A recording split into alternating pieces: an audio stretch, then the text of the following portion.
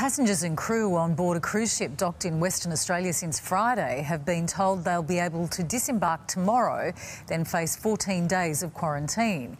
Keeping everyone entertained while the drama unfolded wasn't easy until a drag queen from Newcastle took centre stage.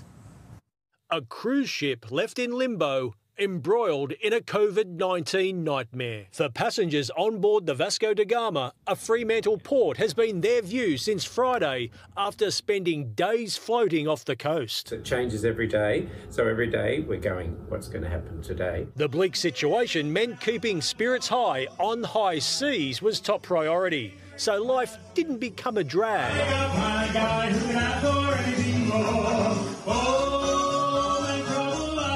No other entertainer can get on, so it's me entertaining the troops.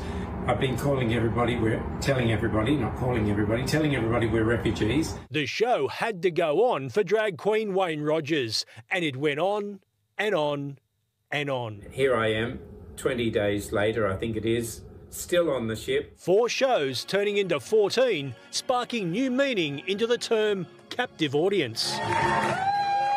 It's not the first time the entertainer has been the centre of attention.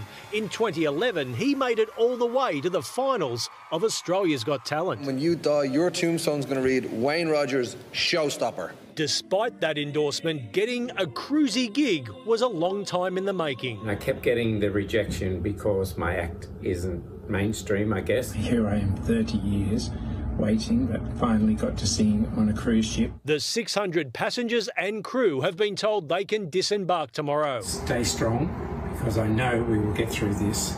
So see you all very soon. Michael Caine for 10 News First.